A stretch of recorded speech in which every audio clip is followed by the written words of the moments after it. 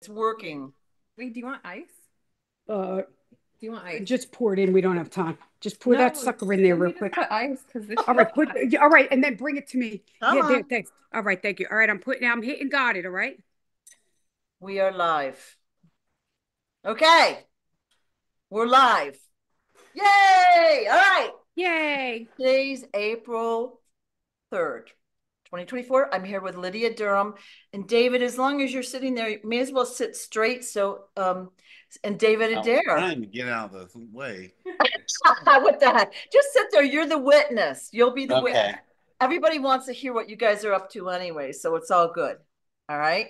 So uh, we had talked several times about Lydia's like the core story of her life, and we tried to go step by step so people would kind of get the um, you know the basic story down.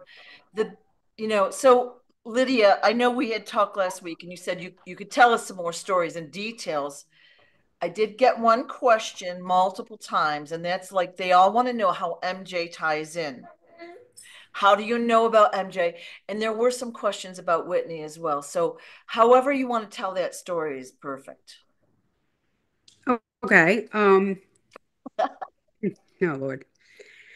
Well, uh, I would say that's very interesting because, I mean, in a way, I, I didn't know about MJ, eh, but I guess in 2018, he decided he was going to let me know. So, as strange as that may sound, we're talking about the master of disguises himself.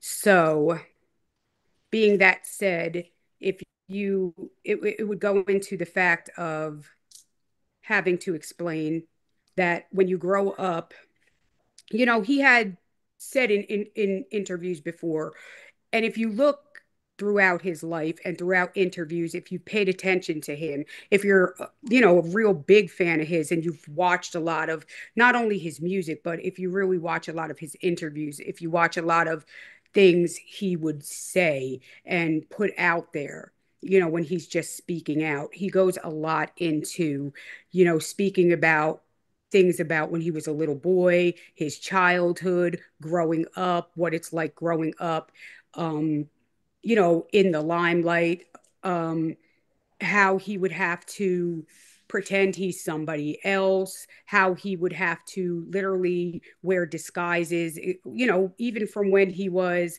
young and he was a Jehovah Witness and he was a little boy having to knock on people's doors in a disguise so they wouldn't know ha- who he was, even as a little boy because he was doing music since say 5 years old and up, you know, even with his brothers and this and that. So therefore, he would have to, from a very young age, pretend to be someone else, look like someone else, and just always be someone other than who he was. So when you really think about man in the mirror and if make a change, you know, take a look at yourself and make the change, well, you got to think of those words a little differently than maybe the normal person would think of those words. And Right. literally, that being him, maybe he is looking in the mirror, looked at himself, and made a physical change as well as other changes as well. So, the physical change being that um, when he goes out or when he does something, or maybe when he was on stage, he made a physical change, or when he was doing interviews, he made a physical change. So, this way, when he was going out, and about, he could actually just be himself rather than something he wasn't. And he could be amongst regular people, ordinary people, and nobody would know who it is because we all know. But I mean, really think to yourself if you're just amongst the average everyday person, you act one way. But if you right now met somebody you really wanted to meet all your life, you're going to change up who you are like this. You're going to maybe not do, you know, this. You're going to have your best you on. You know, if you speak a certain way, maybe you're not going to speak that way. You're going to be a little more reserved, you're going to be this, you're going to, you know, you get maybe nervous, you get shy, you get this, you get that, you pull back, you know, you're going to watch what you do. You might go to dinner and not eat the greasy this, the you might have a salad instead of the hamburger. You might he knows that he's done said that before so he's not going he doesn't want to go around people as MJ. He wants to go around people as someone else, uh, a regular person, because then he will see who they really are. And then if you have consistency with going around people as a regular person, you consistently see who they really are and people's true colors start coming out. But if you're around them here and there as that person, yeah. then people are going to consistently try to act like, you know, or every time they see you as MJ, they're always going to try to act like, you know, someone else other than that. How's he really going to know who they are, you know? So, um, that's one thing. And what, so he's a master of disguise and he had to be since young, right? So that that's one aspect. Then you fall into other aspects of you know, why he would do these things, you know, or how, you know, if you have the resources, so money, power, and you have been around, you know, people, places, and things that could give you access and, you know, teach you how to do these things, you know, and you have just a world that shown you this and this is what you've been exposed to for years. Well, you definitely know how you know you have connections. You know you have all the people right people places and things lined up where you can do this and you know that it's done. You know what's out there. You know how to get it done where to go to get it done. It's all at your fingertips. And then you def you have the finances you have the resources you can get it done. So that's not the problem. And then if you go to the why you would do it some of the why is in what i just said when I first started speaking. And then the other why would be, well, if you also have a group of enemies, you're going to do anything to protect yourself and your family because, you know, even a regular person, if you're starving, you go into what? Survival mode. So people would start fighting over food. They would start maybe stealing out of grocery stores. They would start if, if it came down to, you know, they would start, it's just, it, it, it's basic survival. Well, if you're on that kind of level and you know you have to do certain things in order to defeat an enemy and you're at a certain plateau and a certain level, okay, you have to really bring yourself up and play a chess game that has never been played before. And you have to utilize a level of militant that is above a grade that normal people aren't thinking of because they're not militant. Just right. like the military, we're not thinking about what the military or the Navy or any of them people have to do. We're not thinking about stealth bombing or anything. We're not, you know, but guess what? They are. So here's the thing on his level, he'd be thinking about making a survival in the way he's thinking of making right. a survival, right. which a lot of people want to say conspiracy this, conspiracy that. But guess what? We could say the same thing about military and this and that. Why? Because we're not thinking about it, or that's not our world, doesn't make it not true. Right. So it, therefore that's that's just how certain people have to do their thing. So when you have people that are after you because of whatever reason you know all different types of reason you know they you know riches money fame um maybe they don't like you because of your bloodline. Maybe your family there's jealousy there's envy. Even on a lower scale we've seen how envy and jealousy can be even when you're not at that plateau. I mean how many people how many of you watching this how many people in general seeing how man you know because i have this or because i have that like you know people are just have been envious or jealous or you know and i've never done anything to them. Like you know i've tried to help somebody and then they've came and they've done you know they wanted to steal from me or hurt me in some kind of way or whatever.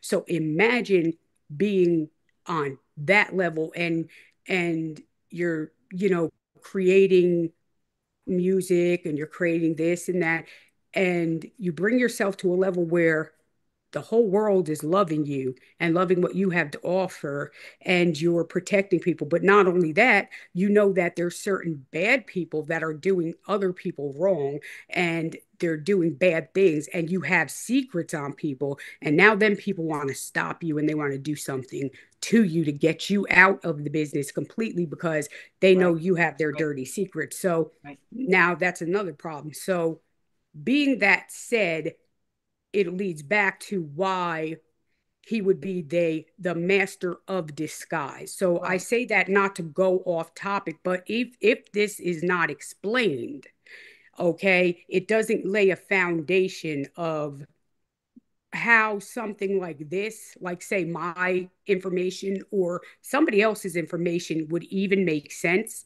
And a lot of people say, well, why are you explaining this? This has nothing to do with what I asked. Yes, it does, because if you don't get to the core of this, you right. somebody's not going to understand why this is even happening because like these disguises, yeah. this, they're just not.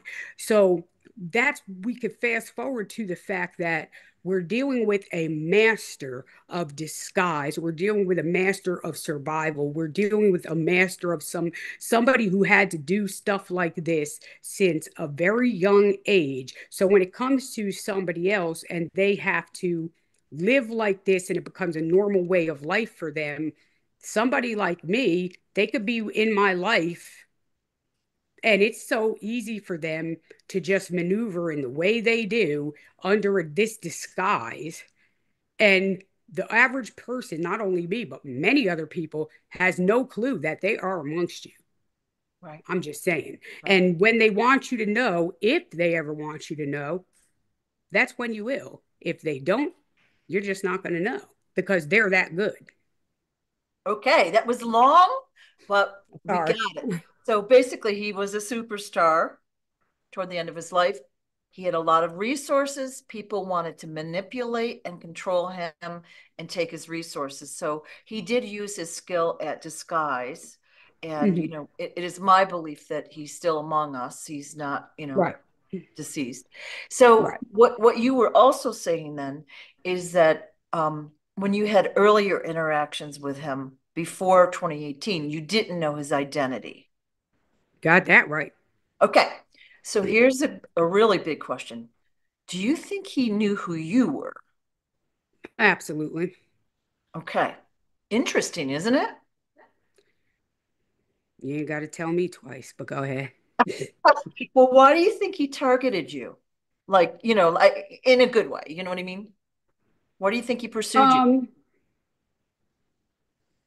Honestly, my thought now before I answer this, I'm going to put it out there. I'm not saying that I am 100% correct. Okay, so I'm not trying to start no rumor. I'm just saying what I think and suspect when when he or if he happens to come back and that he, would have to verify this or say okay good guess but no that's not it um you know. But what I suspect, and he kind of hinted at, um, but I could be wrong. Um, you know, because I guess maybe I either went missing or whatever the case may be with my original story line, and I was being, you know, and however that was, and I guess he was one of the people kind of like either on the case or I, I don't know how it I can't really explain it like like kind of looking for me as well with other people. So you know, so he was amongst others that were like kind of on the hunt finding me. So you're t- you're saying other people knew who you were even when you didn't. And oh, yeah. um, they had interactions with you. Uh, Correct. Case in point, let's say your mother. Okay. Correct. And, um, so he basically knew who you were and somehow got into your life. You had interactions with him throughout, you know, your life. And then how, you know, again in 2018, you started hearing all the music and the coincidences on YouTube and and all that. How did you really realize who it was? Like, did you ask him directly? I sure did. And the answer? Yes, but don't ask me again, okay? Because I'm not gonna I'm not gonna tell you yes again. Okay. And you you said you took him to like a TV station or something, Oh yeah, I did. I took Yeah. to Fox News. and they didn't sure believe you. did. They didn't believe you. No, and not once did he deny it. Okay. Not once did he say, "Oh, she's crazy. Don't listen to her." None Yeah. of that. He his his exact words were, "Let's go, babe. They're not listening to you." So, uh, did you like happen to mention this to your kids? Mm, sure did. Oh, that well, they know. Yeah, they were in the house. So they know. They were in the house. Wow. Okay. Mm, When's the mhm. last time you saw him? Mm, as Jeffrey Lee, because who knows? He's probably floating around in masks that I, I mean, I, you know, I don't, I don't know, you know. Uh, Go like on I would David's know. neck and see what that is. Is that a mask over there? I'm just teasing. It'd be funny as heck. Although David's a friend of Michael's, Yeah, I know. sometimes I mean, I mean, I'm not going to even lie. I wonder if Michael sent him here because I find his his cane very interesting. Oh, Why are you laughing? Because let me point that out. That cane is a camel. Is it? Why are you laughing, David? It's a camel. Yeah. What's significant? And I could go into the camel too. It's a Go. camel. Let me see your cane, please. Thank you, David. I wonder if if if Michael happened to send David here because you know to to you know whatever because see this cane right here is a camel. Okay, see, I am a very you didn't know this, Dave. I didn't say I saved this for you. Okay. I saved it. Okay. See, I'm putting you as spot. Bring it on. Oh, don't worry, Florida. We're gonna have you talk in a minute too, sweetheart. Okay. This cane right here is a camel. I saved yeah. this. Dave did not know I was gonna do this. Oh, God. This is a camel. Okay. And this camel, see, see, Michael's the kind of person that will throw cryptic messages in front of you to um let you like it's a wink wink nod nod like hello i'm here sent by me i'm around i'm helping you why i'm do uh doing the rest of what i'm doing i'm whatever. And i find it odd that i got a certain phone call why this why i started talking about michael but i'm gonna leave that alone. Uh you know my phone was ringing in the back. And and the camel do you know that there's a camel named michael jackson and I find it odd, Dave, that you know everywhere we go, he goes, "I got a cane," and you know what this is, and somebody has to ask him. They go, "Well, what is it?" He goes, "It's a camel." Right, Dave? Don't you point this out everywhere you go? Yeah. Everywhere you go, you point this out, I'm Dave. afraid I did. I bet, yeah, yeah, I'm afraid I do. Uh, you know, so, and he laughs, he's just laughing, and he's just laughing. So, um, you know, Dave, Dave, Dave, and you do you know, think about it. Do you know who Michael went on CNN as? With Larry King. You know, we got King Smarty, right? Larry King, right? Dave, I didn't tell you I was doing this, did I, Dave? Yeah, you did. I told you I was going to get you, Yeah, yes. and I am. Okay, so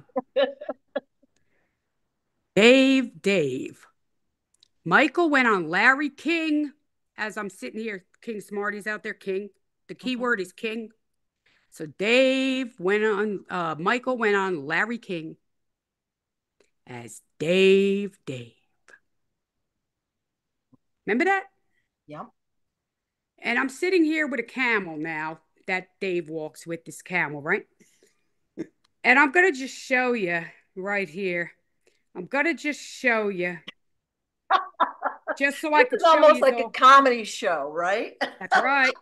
Welcome. But I bring welcome here. Welcome Yeah, to yeah. Ambush TV. That's right. He said ambush TV. That's right. No, no, no, Dave. Dave, and she's laughing. Little girl's laughing. Okay. I'm going to show you right here. I got to pull it up. Hold on. I'm pulling it up right here because, see, I got to go bow. You know, I got to give it to him. So, uh, Dave, Dave, Dave, I'll tell you. So there's a, uh, uh, you know, first Okay, of all, all right, I'd like just to tell you that Michael Get Jackson it. Just get to it. Michael Jackson, that's right. That's Yeah. right. I come prepared, baby. Mike, see, Michael likes to mess with me. He likes to get me where it counts. Yeah. But see, I got news for you. Let me tell you something. This is the new and improved. This ain't 2018 anymore, Mike. It ain't 2018 anymore, Michael, baby. Okay. So, Michael, why did Michael Jackson use a cane in his later years? Yes, that's right. The back injury used to cause Michael problems, and he developed arthritis in his spine in L5 and I meant L4 and 5 L5. That's 45 like Trump. Um, which is just the same area that I have it, and it can be extremely painful. Okay. Now, what connection does Michael Jackson's moonwalk have to the moon? He's the rocket man, by the way. Remember when Michael used to use the rocket and fly above in his concert? Remember when he also did that um oh my god, he did that that stupid show. But anyway, like he's the the moonwalker. Anyway, okay, anyway. Nothing. It was a cover of James Brown's because Michael was so fascinated. Like he was, he just loved James Brown. He used to get so mad. Look it up, people. When James Brown, they didn't show his feet when he danced. And he went to James Brown's funeral and all that kind of stuff. But anyway, besides the. So nothing. It was a cover of James Brown, Camel Walk. I didn't believe my Jackson was the first person to perform the dancing move. I believe break dancers were doing it at the time. Ba ba ba ba ba Motown 25, ba ba ba ba ba. You know? So, um, but there is okay, there is also a camel, how to camel walk like Michael Jackson. And here it is. There is a cute little camel with the name.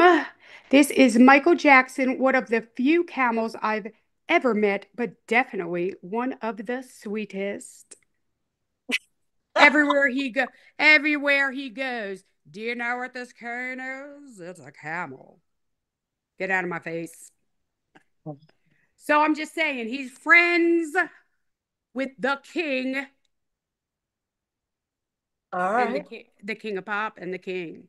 All right. So they could try to pull the wool. All I think Michael, Michael, they these these people got something going on, all of them. All right, they're all friends. All right, but they're not pulling the wool over my eyes in this. All right. So whatever they got going on, just saying. All right, go ahead. So we're like, I don't even know what question I asked. You know, it's We were talking about Mike, right. But all right. So and that's Dave, not Dave, Dave, but Dave.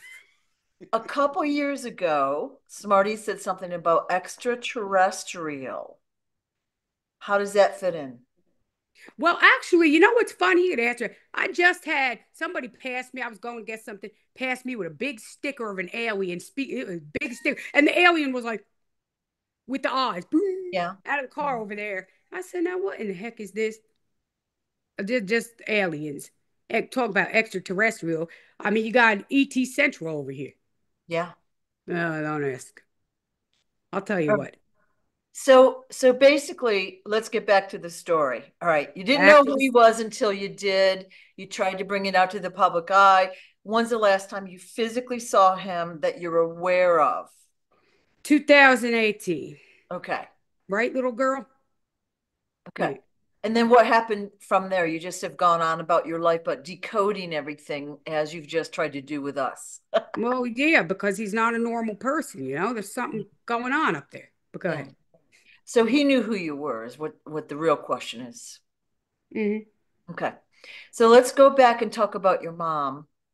Ugh. She knew she knew who you were as well. So she became friends with you when you were younger. Mm-hmm. You hung out with her. She was musically inclined. Mm-hmm. Became friends. You do this and that.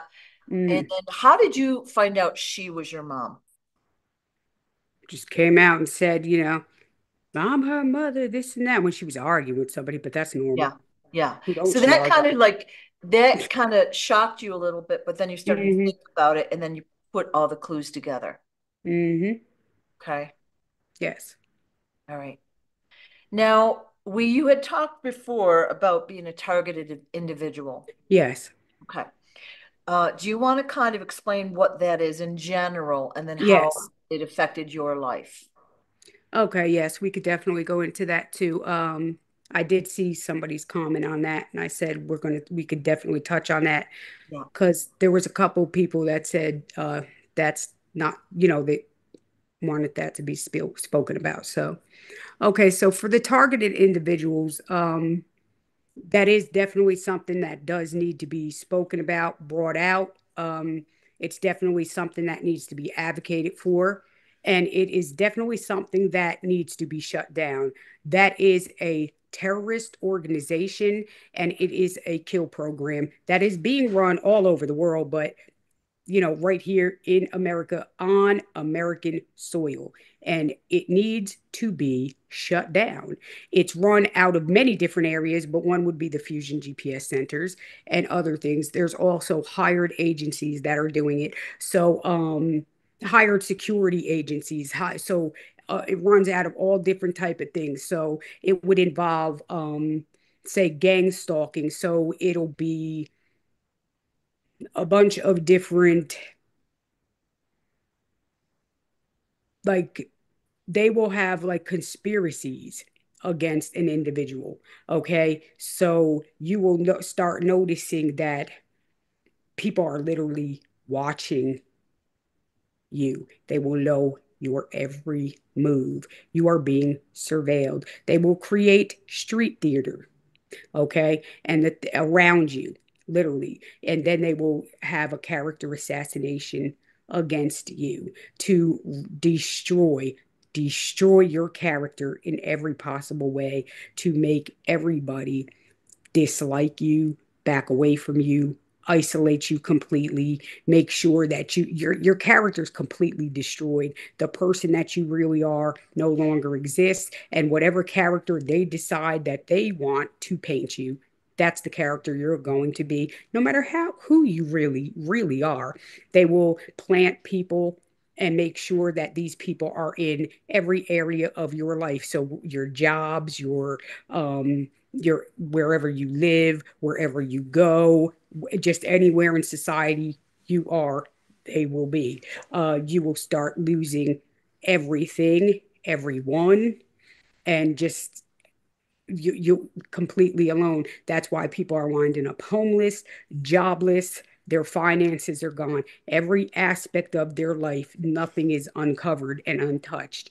Um, you will start noticing that uh, the directed energy weapons and certain weapons, they could target your DNA, they could target everything everything on you and they'll use certain all different type of weapons they could use. Direct energy weapons. There's other uh, weapons they could use. There's free, uh, frequencies like smarty talks about the frequencies. So frequencies they'll hit you with frequencies all different types of stuff. They could rot the te- teeth right out of your mouth with warp speed. They can um, target your organs. They could target your hair. Your hair could start to fall out. They could they could give you know target your you know you'll get earaches you'll get headaches you'll get you know fatigue um, nausea all sorts of bad stuff. Oh So yeah, all, all sicknesses, all, all types of bad stuff. So these people are literally being murdered. The suicide rate is way up because your quality of life is is completely horrible. You your finances are completely destroyed.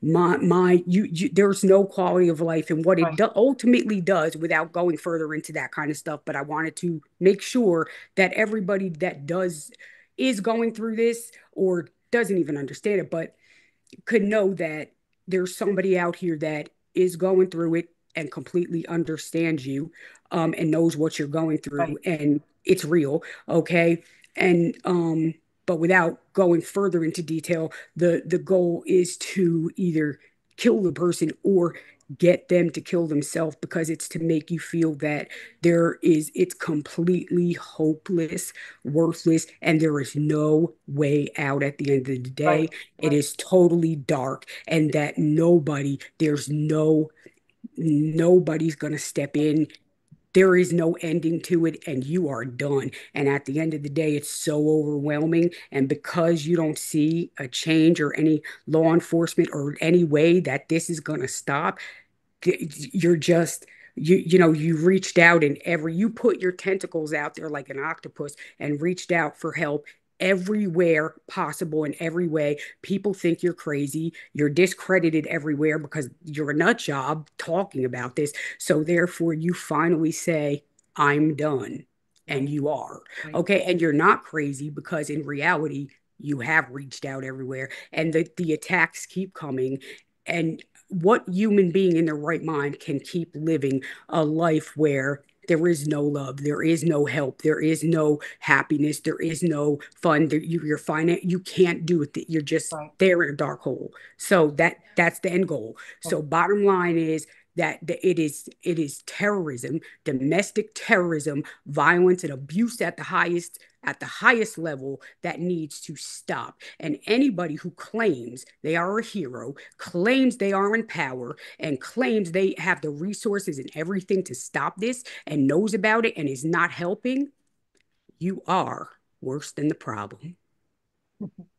I Well, don't you know- give a crap. John Kennedy Jr. was telling me basically 22 vets a day commit su- suicide, and he said that they're actually being targeted, just like you mentioned. You said it in a much longer winded way, but it gives the viewer a feel for what's really happening. You know, you're Because it is. you've been kept in poverty. Your opportunities have been taken away from you. Every time That's right. something comes up, somebody hits you, somebody does this, somebody does that. There's a crisis. So you've never really been able to move forward in your life. You've always been kept kind of like That's in right. conservation mode. That's you know? right. Same with him. Yeah. That's right. Every every single time there's always something, you know, something you have to worry about, something you can't afford, something you can't do. You're always feeling bad about yourself. You always have a worryation. You always have something you can't pay. You always have something, you know, that you just can't, you can't you just can't do, you know, and there's always something, you know, it's hardcore. Like, you know, you're worried about a li- little, just nothing. You're worried about nothing. And every time you try to get ahead, they're going to try to make sure that you can't. And they're always, you know, you always have to feel like you are just nothing. You're worthless. They, that's what they want you to feel. And e- even if you know this, even if you know, they, they want you to feel, it doesn't even matter because bottom line is, even if you try to tell yourself, oh, they want you to feel, it, at the end of the day, the reality is like, damn, you know, Yeah. I don't have nothing. I am, you know, it's the it it, it becomes the reality because it, it it's the reality. You know, you can't have your own this, you can't have your own that, you can't, you know, pay this, you can't pay that, you can't live your dream, you can't do nothing. And then then when you try to reach out, nobody wants to help you like that. Nobody sees any worth in you. And then you look around and it's like you're always the bottom of the barrel. You're always the worthless one. You're always not good enough. You're always the one that's not worth anything. And you're always the one that's has to beg or and not have, or you're always the one that can't afford, or you're always the one that can't pay the bill. You're always the bottom of the barrel, leftover crap that nobody wants. That's who you are. Why though? And then you look and you're like, well, what the hell did I do? What's wrong with me? What the hell is wrong with me? And here's the thing, you know, and you're like, Jesus, you know, and and here's the thing, you know, it's like you try and try and try, and it's like no matter how much talent, no matter how much, it's never good enough. They and they'll purposely send people into your whatever your life to like, oh, you're good, you're good, you're this, you're that,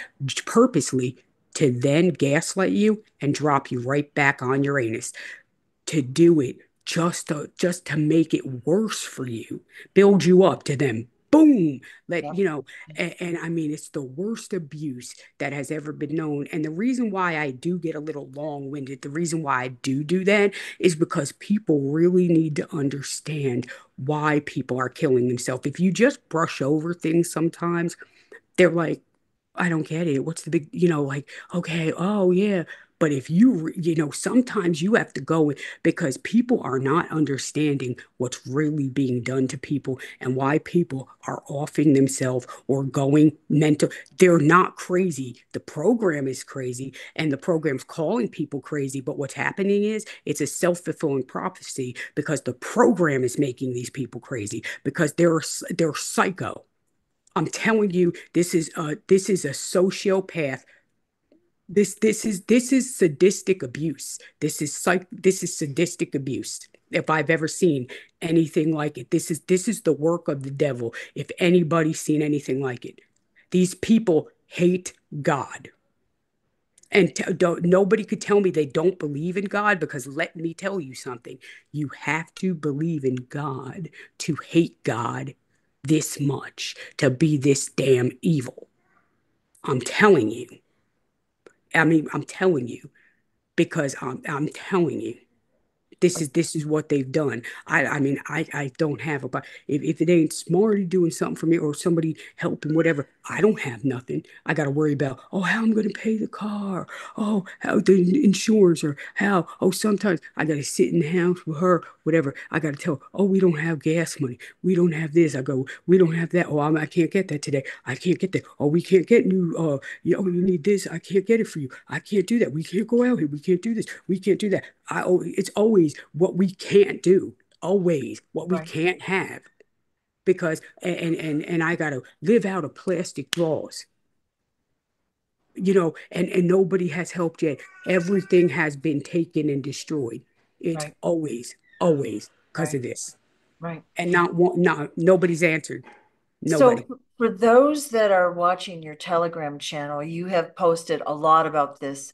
You work with other Mhm. people that have children in under the influence of I'm sorry. CPS. So we know Yes. that CPS is a corrupt organization. All right, that's clear. And what they did to you, we talked about last time. So um, how do you see yourself going forward in the future? Mm, doing what I'm doing, like like I like advocacy work, you know. Good answer. Um, I like advocacy work. I like, see, I'm real passionate about that stuff, you know? So I like the advocacy wo- work. I like the music, you know, combining those things. I like the advocacy work. I like the music. Um, I like writing and uh, speaking out about this stuff. So I feel that, like, you know, people who don't get help should be getting the help. But um, that would include, though, see, that would include though some of this stuff would have to be it would have to come out it would have to be getting exposed in order to be able to do that though that's the problem because because Don't these people it need the is help being exposed? It is being, um yeah. yeah de- yeah I mean, yes not fast is enough, but it is coming right out now, right? right right yes it, it's oh shoot okay it's um let me think oh oh sorry there was a phone ringing I'm like whose is it okay let me think. Like, let me think. Like, it is, but I think more people need to know. I think there's just so many lies within.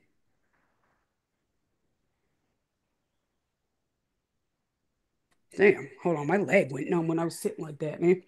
Anyway, no, it did. Like, my whole side of my leg. Anyway, um, I'll tell you.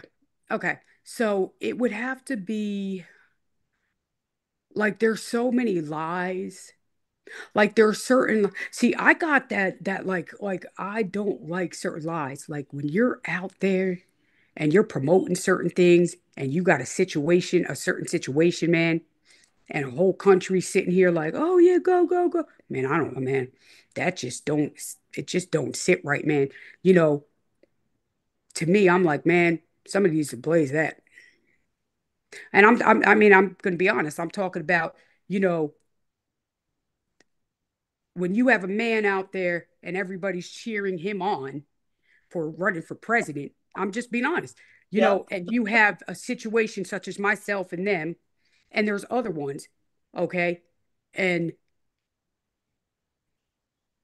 we've been going through what we've been going through. There's a petition. Um, answer for it because there's a whole lot of people being misled right now. Or if there is, now let's give the benefit of the doubt, right? If there's a situation being held over his head and he couldn't answer right away or whatever the situation may be. So there's some kind of hostage kind of situation, whatever it would be. right? Blackmail and that. Black man. Yeah, yeah. Yeah. Okay. Well, you come help us in the background, explain what's going on, and then release that later or whatever. But the fact that you're just ignoring it, um, man, that's a problem because you're just letting an innocent woman and her children take the hit so you could just do whatever. So to me, I take that as this. I take it as like, okay, so I'm paying, I'm paying the price, and my children are paying the price for whatever it is you've done. So you don't have to pay the price for what you've done. You know what I mean? Before I was born or during when I was a kid, whatever you whatever you've done. So you're so you're so Hmm, how do I word it? Okay, you're just you're so much of a punk that you would really leave a woman and children to be this abused and this held down. You lived your whole life and you've had a pretty damn good one, don't you say?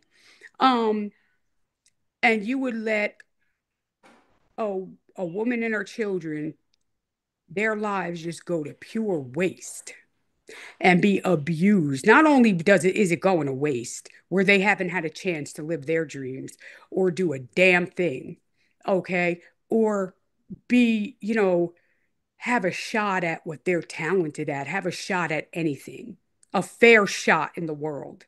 They've got to live like the scum of the earth. And they have to be basically sacrificed here, okay? And go through and be abused and terrorized. So you don't have to, you know, give up anything right now at 70, whatever years old you are. Really? You're that much of a punk? Wow. Why you then taunt around, waving and, you know, walk around in your suits and wave hi to your fans and keep saying you're winning.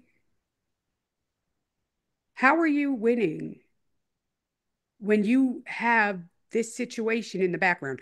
So, therefore, come on now, you know, not come on. So that don't that that's just really bad man. And there's other people in it not saying other children whatever but i'm just saying you know if you really mean what you say about the child trafficker because here, here's what i say too. When you said my administration will stop child trafficking women trafficking and all of that right? Don't use us to further your campaign because someone like myself and other people, and I'm sure there's people even watching this, would be great, like in their area, in their county, in their towns, if they want to, in their states, in the whole country. They would step up and join as a team and be awesome in helping in the fight to really do so instead of somebody else that's talking about it and being used so they could become president of the United States and be silenced. So stop that. Don't use us to abuse us, ignore us, violate us, and destroy us. Because as long as you know, and I know, and the world should know, that he knows about me and my situation. Okay. Because think about it. I have a call with E. Jean Carroll. I mean, there's much more evidence, but just think about this one alone. I have a call with E. Jean Carroll, who just Suppose we won that 80 something million from him, right? Now, I have a call with her, which I shown the number, her boy, everything. I have text messages and um and Twitter correspondence. Well, anybody like that, you would know that the Secret Service is monitoring her, her phone calls, her Twitters, her everything, because she has that kind of dealing with President Donald John Trump. Do you honestly think they don't have all my information, my correspondence with E. Jean Carroll? Of course they do. I sent it all. They have the anonymous video, they have the petition, they have all of our conversations. Yep. So they have so of course they know that I'm I reported I'm being gang stalked and terrorized. I'm his daughter, I'm his this, I'm that, you know, I'm being harassed, I'm this and that. And of course they're gonna watch and see what's going on with me and with all the evidence and stuff I can show. Why why is nobody saying anything or doing anything or showing up to mm-hmm. help or do anything about me or saying, hey, you know, this and that? So that's over a what? It's about two years now or a year and a mm-hmm. half now, phone call with her, and not one word, no help, nothing Yeah. from nobody. So, Yeah. regardless, they're guilty of not stepping in to defend a woman and her children and allowing people to follow me around and commit this kind of terrorism. Bottom line, Trump, it doesn't matter. And even if he said, "Oh, I don't want he don't want to be my father," that's fine. I don't care about that. What I do care about though is the quality of life for myself and my children. Right. I'm sure everybody who's watching would care about the quality of life for themselves and their children as well as a family. Right. So I don't see anything wrong with asking for the right thing to be done at this point, and then also be able being able to do and return the right thing to be done for everyone else who would need that done for them.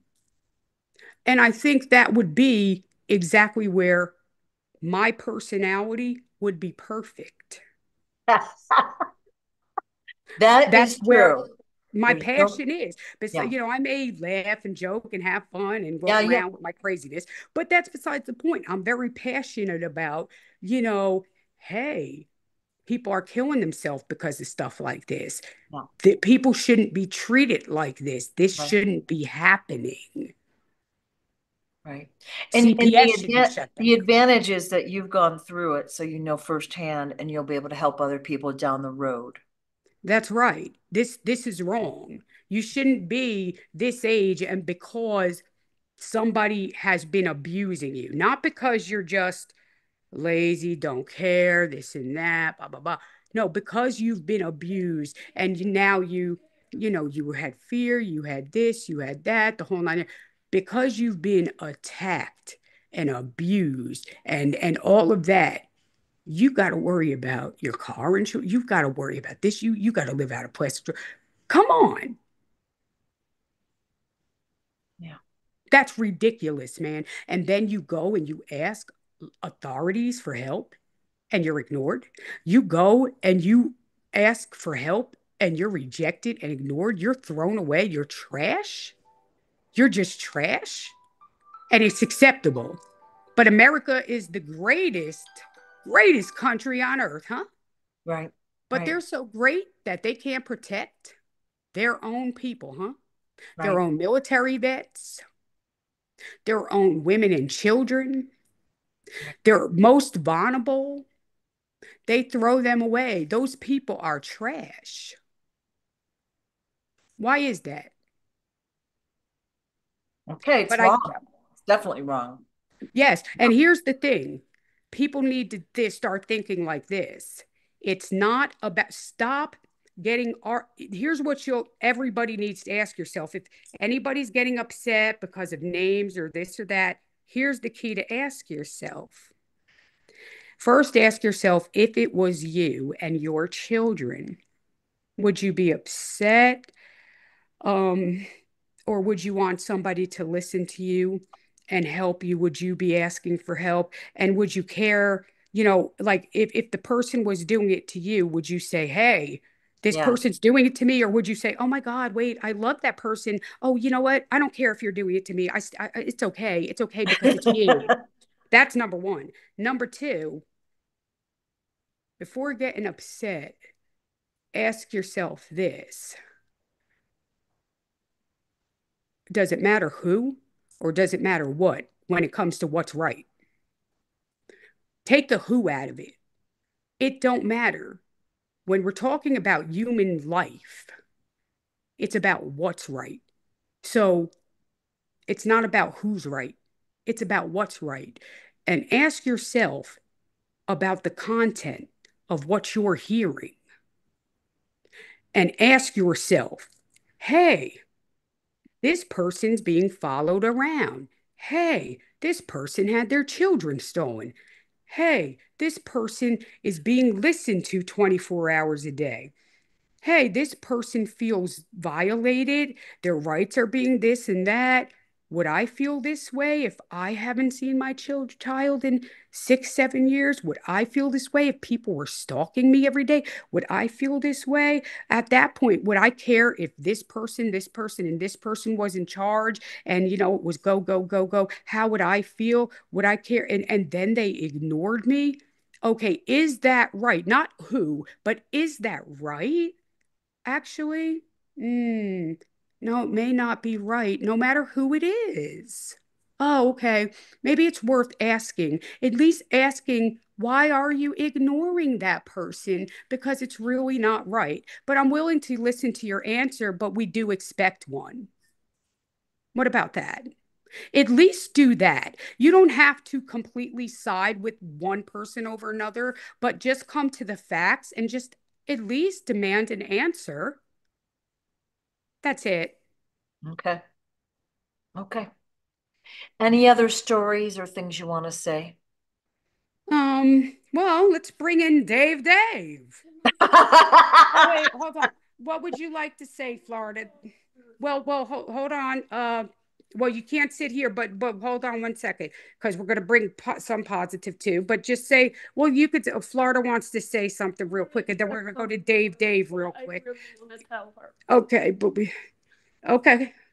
All right, Dave, can you move over one second? Then we're going to have Dave, you're next. Look, Hey, we Dave's may well- go next. Let's just get it all on one video. We'll get everybody there. Dave, Dave's gonna go next, I'm moving.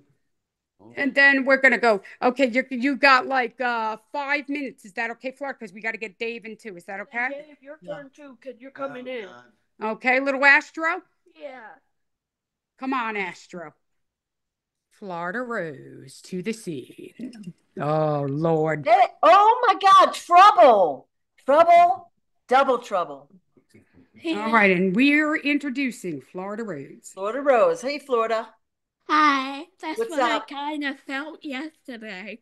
Yeah. When I felt like I just got thrown away with all that scary stuff that happened to me. When I just felt jobless, I just felt everything. I just felt like I can't. I can't do anything about it. I just can't. I just feel like I don't have a career. I just feel. I just can't. That's why I felt almost like couldn't handle my life anymore because what happened.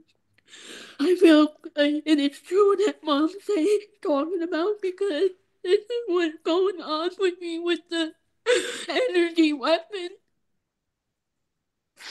and the suffering with it. And it's a skull in the head thing that bothers me. All I just want to do is just be an astronaut. Well, what if you weren't an astronaut, but you were something else that was fun? Would that be okay? Not something else.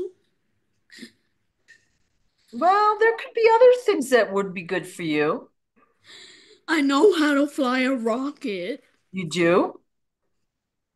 Okay. All right. What else did you want to say?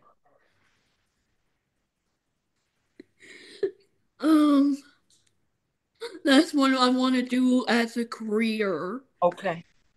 Okay. As to do like I just like because I just want my own space agency, my own. It, it would be better than NASA. Okay. My own everything. I everything. I don't know what to do. Let me ask a question. Aren't you glad that you're with your mom and she's taking good care of you right now? Yes. Yeah. Everything, Um, the stupid weapon things that happen. Everything. Everything that goes on. And everything. With the thing that happened with me. Because of that stupid program. Other thing that happened. CPS. Yeah, CPM. hmm And all that stuff. How long, wa- So, how uh, long, how long was she gone for?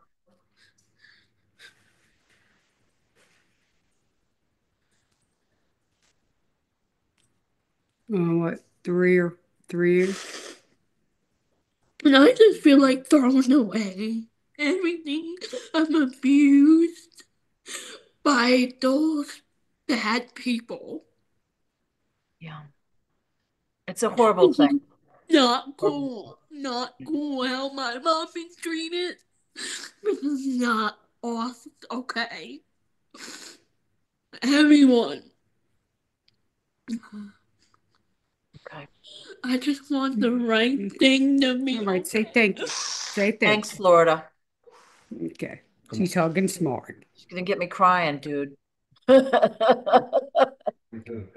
We haven't talked about those particulars, which, um, you know, I think we can kind of surmise what's happened. It wasn't a good thing. Right. So she And wants she to, she knows uh she knows about the uh the energy weapons because um she was getting um the the ear stuff and the dizziness and then the voice. One time she well not one time a couple times she was like she was like oh I'm hearing something. What the heck is that? And she was like getting real freaked out. And I said well what is it? What is it? She's like I'm hearing something in my ear. And I'm like what do you mean you're hearing something in your ear, you know? She was getting real freaked out. She's like, I think the devil's talking to me. And I'm like, Mom, you know, she did a couple times, but but what was weird about it is um um hold on, let me tell my son, oh God it. Give me a minute. I'm in interview. I mean, really? What I mean, they, they, it all kicks off at the same time. I'll tell you. I know, I know. Okay. So and then I told her because um because um I noticed because I think they hit us at one time because I felt not I didn't hear the voice, but I felt ding at the same time. And I'm like, that is just so weird because she explained the exact same sound. Yeah. And I'm like, that's just really weird. yeah. And it happened more than one time with that ding at the same. She's like, what? just like that. But when she heard that, she's like, what's all about? It's like, so the after it happened like five or six times, I, I showed her voice to skull. And I said, and that's when I told her, there's nothing wrong with you. The devil is not talking to you. And I told her people are stopping that.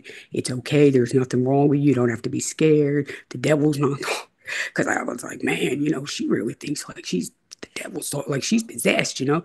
I'm like, man, you know. So I'm like, man, I'm just gonna tell you like some, you know, something going on. And I was like, but they're cleaning it up, like they're taking towers down, they're doing this, they're doing that. Because I'm like, man, you know, she really it's like she's possessed or you know. I'm like, man, that's like, whoa.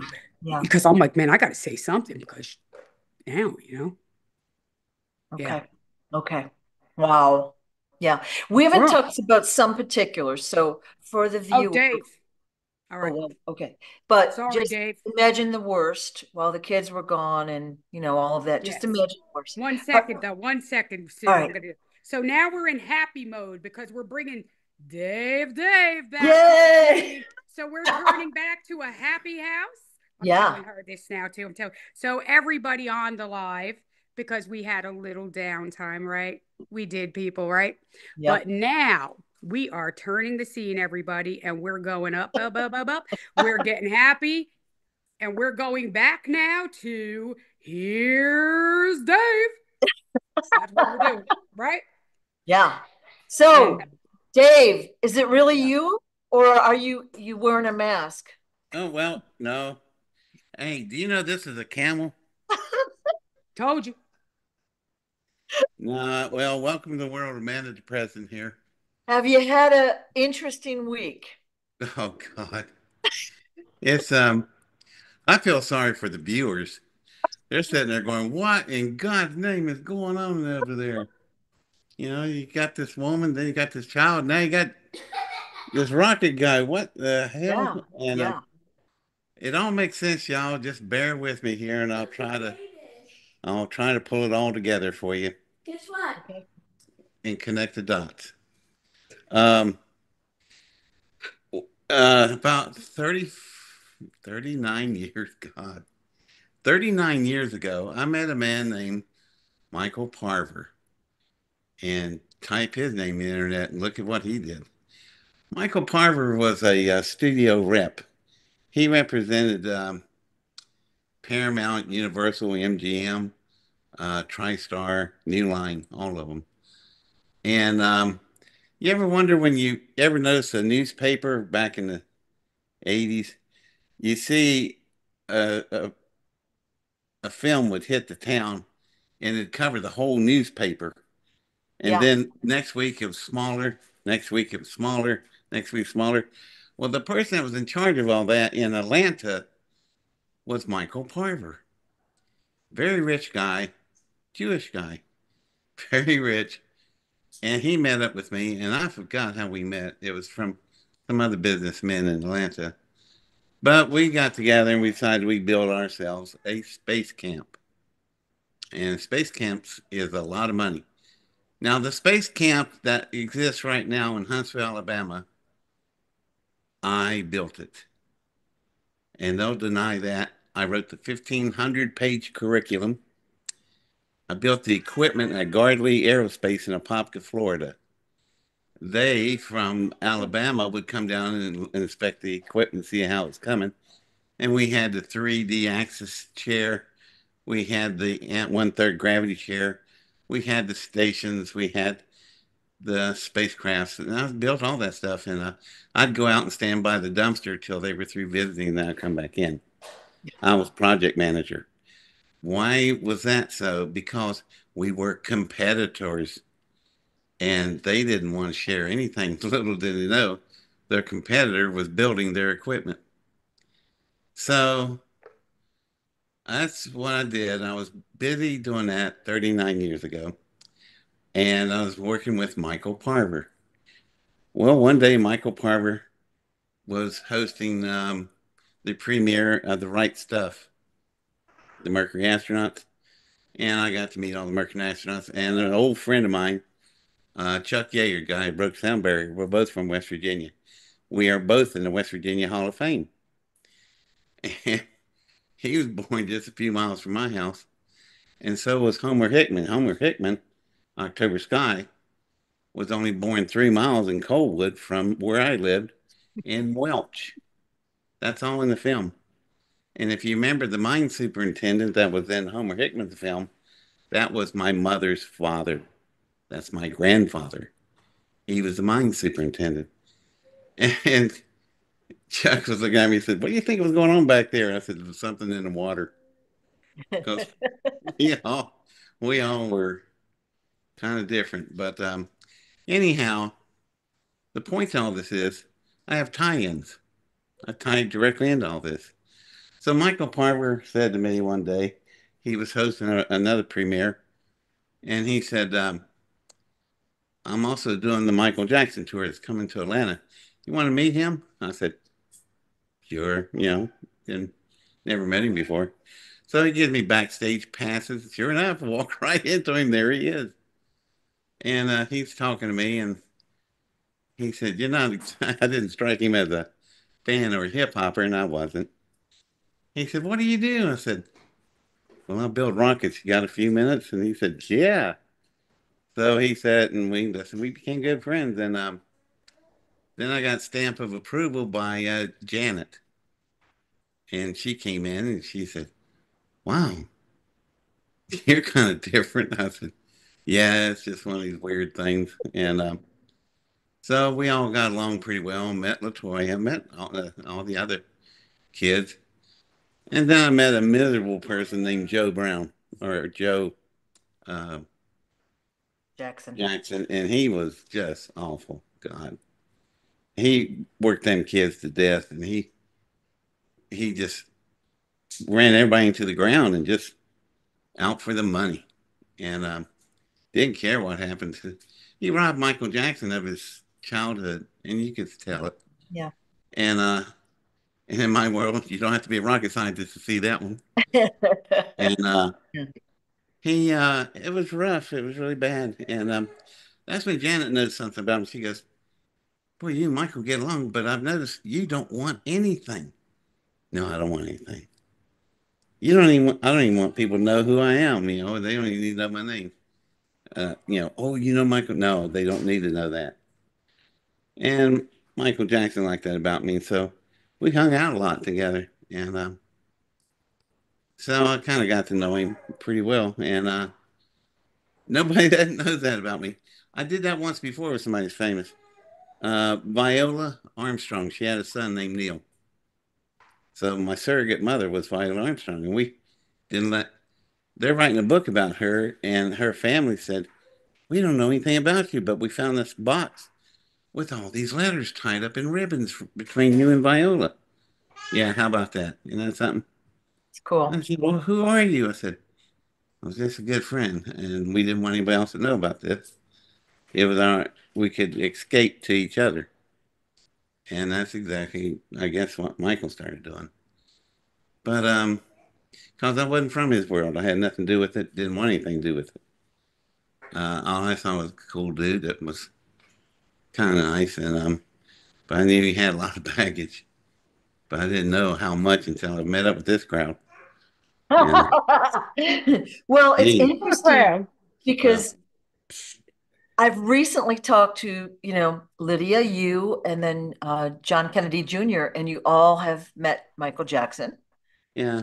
Um, have you ever met Trump yourself? Uh, only in official capacities when I was working, and that's when I was working at the Navy, uh, ONI, Office of Naval Intelligence, and um, it's just um,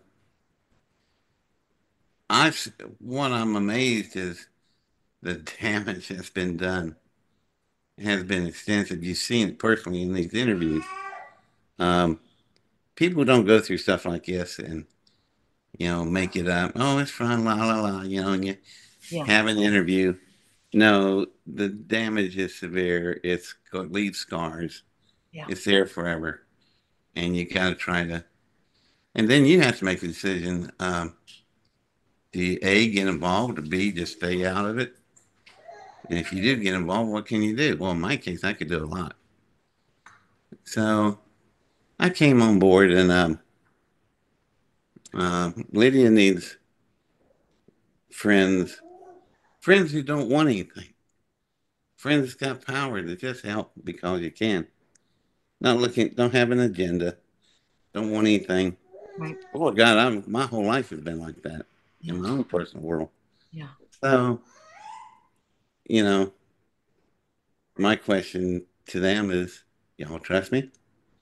That's something that got got to answer. It's a question of a lifetime. Well, do you? I don't know I'm not yet, going to pin you down now, but yeah, it sounds like you got. We got to see, Dave. There's somebody up there hiding from me. So Okay. Okay. He doesn't want to get on this interview yet. Okay. Well, you know, I have a in in the description of this video, there will be a link for video uh Lydia's Cash App, PayPal, and all that if you want to donate to help support her. But yeah, I think that once the future hits, we get the chambers, we get our new bodies. Uh, it's gonna you're gonna be hitting the ground running, uh, Lydia, to help people. You will be able to help many that are in your situation right now. I mean, you have the, you already have a great network of people. And, and again, that's not quite the same as friends that have your back. You know what I mean? Right. But you already have people that need help. Right. you know. Well, I mean, that's what, you know, that and that's what it's about because there's there's a lot of ideas I have, you know. Um, and once that sort of exposure happens and certain things happen, then I could bring those ideas forward and the ones that need to. What is he doing? He is doing something. Hey, Cisco. You know, maybe Cisco's Michael in a mask. I don't know because he just won't show his daggone face. Okay, so his Cisco is the bodyguard guy, right? He's the bodyguard guy. Is he like right that there? won't come downstairs so I could ask him to say something. He just showed himself right up there. Well, He what- kabooed, smiled, and then took his bottom right back over there. And all I wanted to do, he could even yell it. He doesn't even have to get on the camera. He could yell it. you could stand from the there- the computer, yeah. So, so Yeah. So basically what happened is one of and, and Smarty and I were talking and he said that this Cisco bodyguard guy um basically um confirmed what you were saying about Whitney and you know what I mean? Yes. That's So- what I wanted him to do. I wanted him to just stand Yeah. there. He could stand right in the back. Yeah. He's the nice guy. Yeah. Listen, he's a great guy. He's a very nice guy. You know, Cisco is an awesome person. He's an awesome guy, you know. Okay. Yeah. And I just wanted him to stand in back of the damn It's computer, good. whatever he does, and just confirm it. But he takes his quiet self right back and he goes scoots back over there and hides again. It's all you good. know, So he's confirmed much of what you said. And of course, Yeah, when I was talking about Michael and then I was talking about Whitney, uh, be, just being like they were, you know, just um things that they would do, like when I was around them, like just just certain things. I was talking about like when they hang out, you know, as normal people, and he was just laughing and smiling. And I just turned to him, I said, "What are you laughing at?" And he was like, "Yeah, that's that's exactly what they do. Like you can't even make this up." And I said, "See, I told you guys." Yeah. Well, like Yeah. David just said, is you've been through a lot of trauma in your life, and you can't make these stories up. Now, there there will be people that accuse you of, you know, trying to do whatever, this or that. It doesn't matter. You can't even make these stories up. There's so much Who the detail. heck would want to? Yeah, and who'd want to live that life? Um, hey, David, have you ever um come across Charles Manson? No, I'm I'm being No, serious. I have Yeah. no. Seriously, I have not. I wouldn't want to. Yeah. He's such a social maniac. Um, Yeah. you know, paranoid, schizophrenic. He's got it all going. Um, yeah. Well, I was just I was just curious. dangerous. I've talked to you, Lydia, and then uh, John Kennedy Jr. and and like there were three people that there's a little overlap, you know, and it's like interesting how that's coming out all of a sudden. Yeah. So it'll Um, be Dave. What? Charles Manson he used to put stuff in the in the refrigerator. Little surprises, Dave. Like what? Dead rat? Ah, well, not well. Well, since you asked, no stool. Oh, how nice. Anyway, let me explain something about the cane. Yeah, you'll you'll find this interesting. He's back. Okay.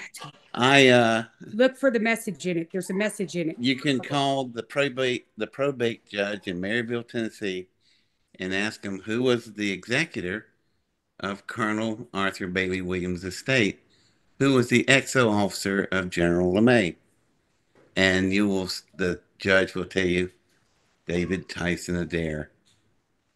So how do you Photoshop that, y'all? So anyway, I take care of the estate, and in that estate, I find this cane. And this cane is made back 134 years ago. 1896 it was made. Wow. And um, it had some ears on it, but I ground them down because the ears were hurting my palm. But up until December, I didn't need a cane. I caught COVID, and it just ripped my heart, lungs, and legs apart. And so now I have a limp thanks to COVID, and I use this cane. But this cane, um, you know, it's just just happened to be in the estate. It was in a, a, a stand of umbrellas, and I thought, what is that head? It looks like a horse. Get close to it, and it's a camel. So Umbrellas, huh? I, yeah, that's where I pulled it out. Just happened to be in a stand of umbrellas. Uh, he walked with an umbrella all the time too. no, I.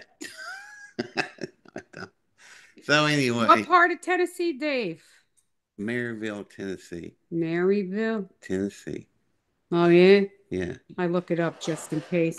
look I'm up the probate scream. judge. So Look any other phone. um any other topics we want to talk about today? Um, no, other than um, I'm just down here joining this crowd. We got some things with mutual projects we want to work on, and I met Lydia in the middle of all this. Uh, and that's just where we're at. Um, yeah, she's right.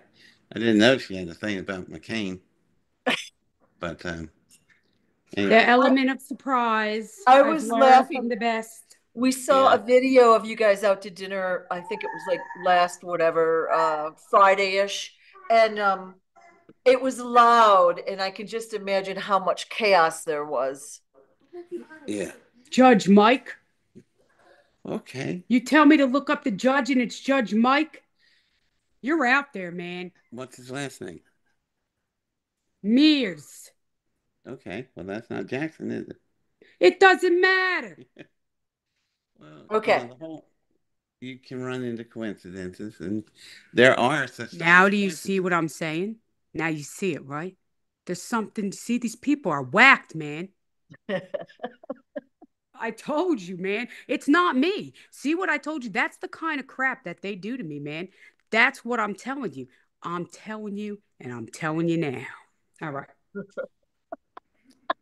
Well, I Ain't it- told you, man. They're all in on it. They're all in on it, these people. They're all Yeah. in on it.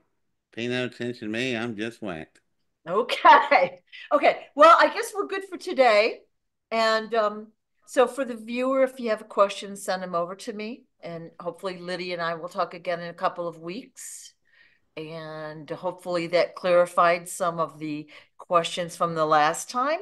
And then we had the added bonus of David, a little blip of King Smarty in the background. Um, little little Sophia, like we had them all in this video. So. All right. Thank you guys. Appreciate your time so much. Thank you. And P.S. P.S.